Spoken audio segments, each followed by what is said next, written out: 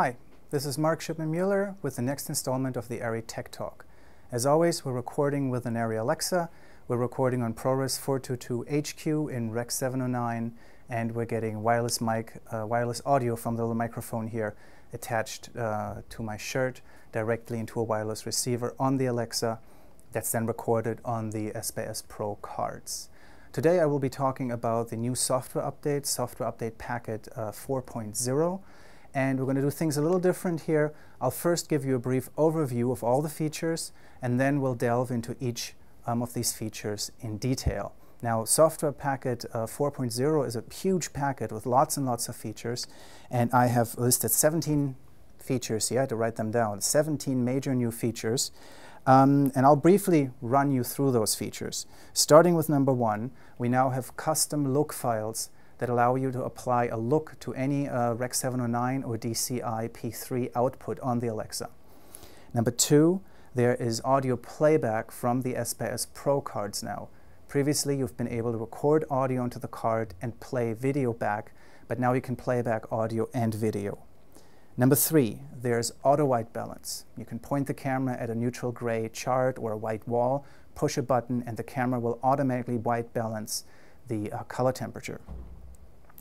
Number four, we have a number of uh, uh, improvements to the viewfinder and the monitor out, starting with a peaking focus check that allows you to check much better uh, if you're in focus or not.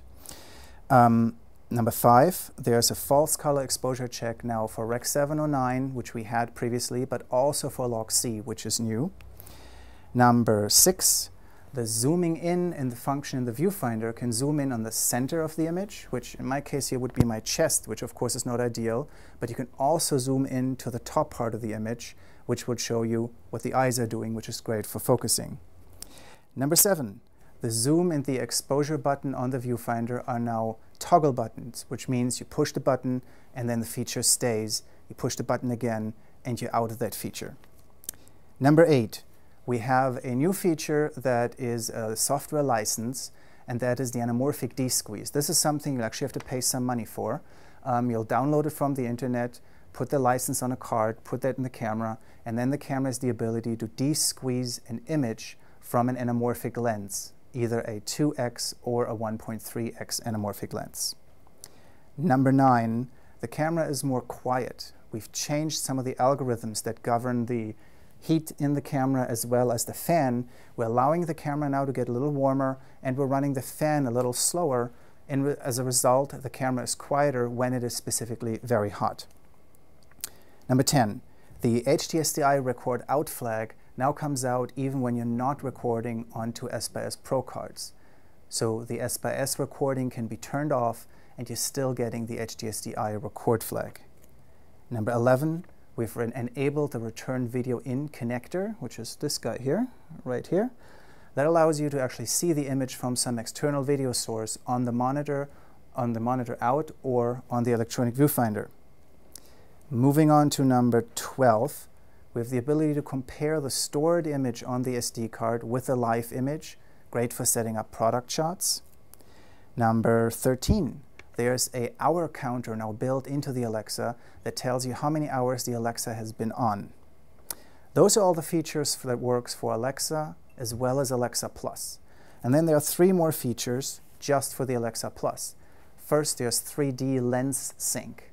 If you have an LDS lens, a lens data system lens, on a 3D rig, it allows both lenses to be set at exactly the same positions, focus, iris, and zoom.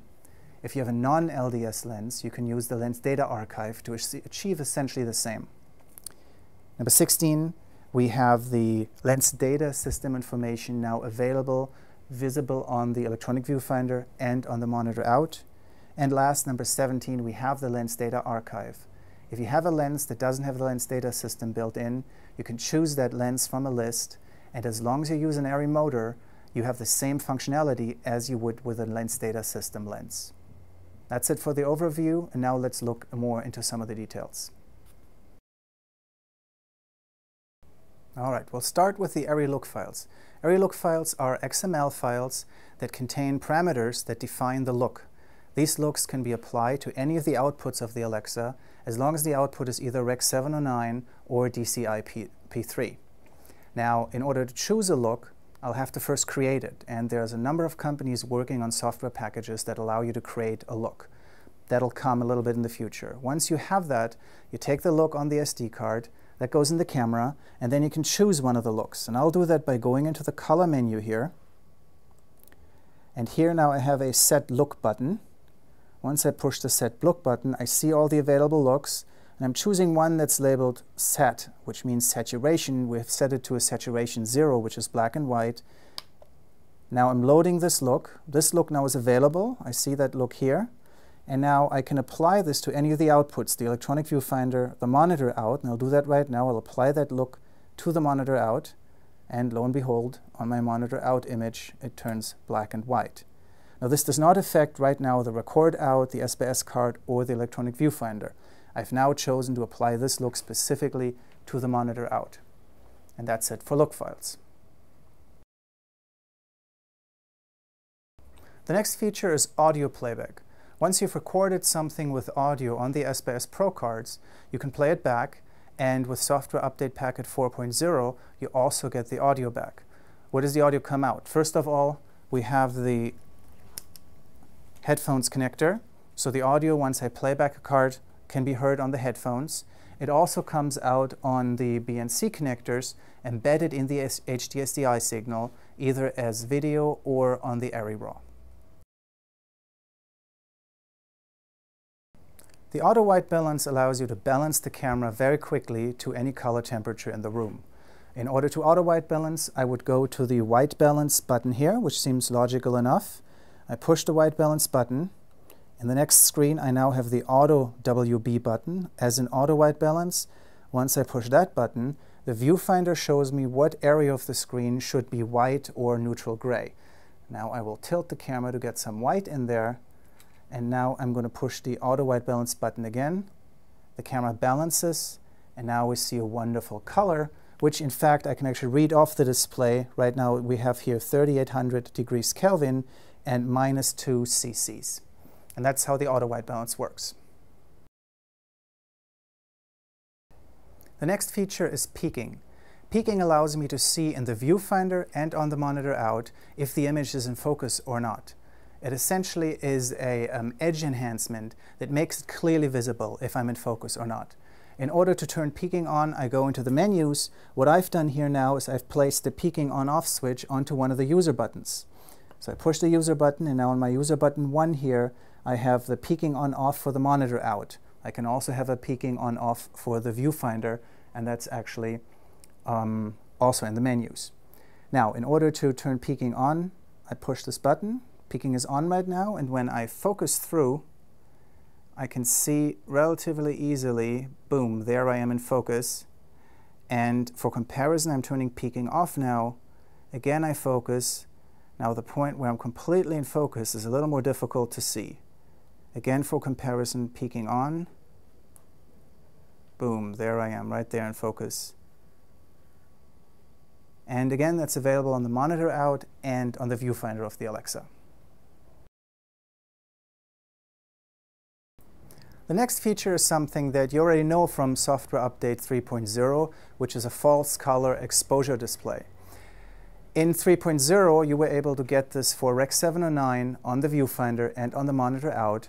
However, if you had either one set to log C, it still showed you the values from Rec 709. We've had some complaints and we've changed it now. So now when you're looking at Rec 709, we're measuring Rec 709 and showing you false color mode for Rec 709. And when you're looking at log C, we're showing you the false color for log C properly. I've set the monitor out here to log C right now. And again, I have used a user button. This is user button number two for my false color exposure mode. And when I turn false color exposure mode on, I can see the different colors showing me the different brightness levels of this image here. And again, this is log C. The same works, by the way, also if the monitor is set to Rec 709, the monitor will properly show the exposure for Rec 709, while the monitor out will show the proper exposure for log C, which is what I've set those two to right now. Next, we have a change to an existing feature. On the Alexa viewfinder, there are two buttons.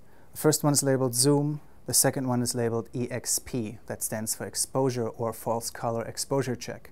And they used to function as follows. As long as I push the button, the feature is enabled, and when I let go, the feature is disabled.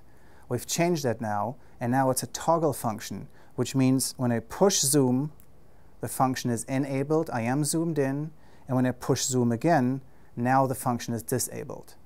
So you know that you actually zoomed in. While I zoomed in, there's a thick orange outline around the image. It's very, very clear.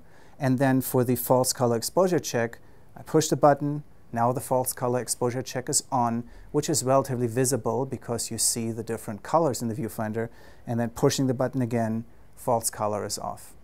And that's the change to these, new to, the, to these two buttons.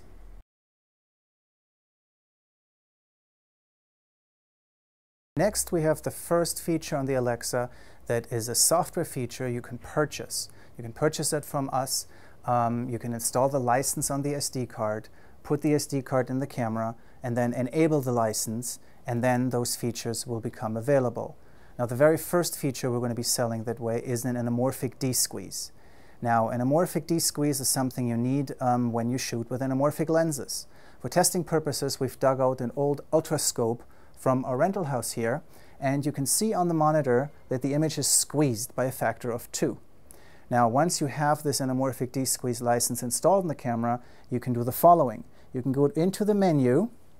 There you go to Monitoring, Monitor Out, and then at the very bottom it says anamorphic de-squeeze, which right now is turned off, so my image here is still squeezed.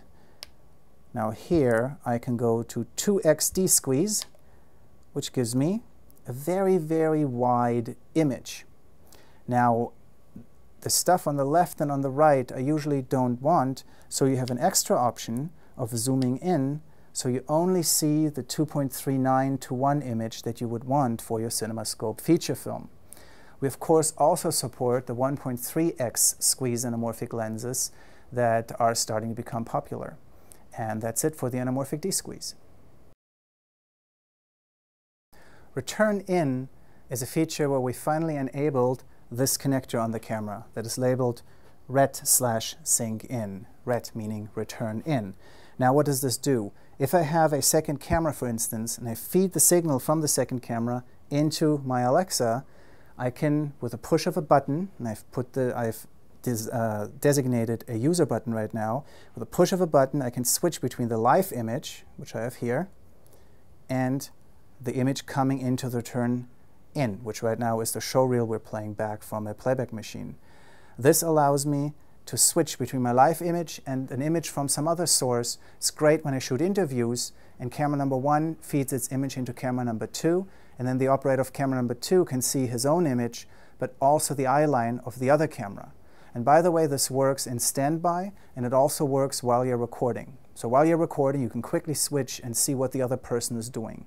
Um, as I've done here, you can assign a user button to switch between the two, and that works for the three user buttons on the, on the right side, as well as for the user buttons on the left side. Many of you remember a feature from the days when we all shot film that is called Store and Compare. That was a feature we had in the integrated video system. Um, the way it worked is you stored an image, held it in memory, and then compared it to the live image. The same function is now also available with the Alexa. The way it is being done, the way it is being activated is through the menu. I push the menu button to get into the menu, and then here I choose Frame Grabs, and then I choose Compare Grab to Live Image. Now I've previously captured this um, picture here, but I've panned a little bit since then. So if I push the Compare button, I can now see my captured image in comparison to my live image. When I pan at some point, I will actually get right back to the point where I was when I captured the image. And this is a great feature if you're doing tabletop. You set up some shot, you grab an image, you go to lunch, you come back after lunch, and you can make sure you have exactly the same shot again. I'm sure you guys are going to think of many, many other features, uh, many, many other applications for this feature. And that's the store and compare feature on the Alexa. Another new feature we have is an operating time counter. in the info screen that I have, and I get there by pushing the info button, which is right here, I can see a number of uh, pieces of information about the camera. One of them is the system information, and the last line here is operating time. This tells me that this camera here has been on for 232 hours. This is a feature that's going to be great for you guys in rental.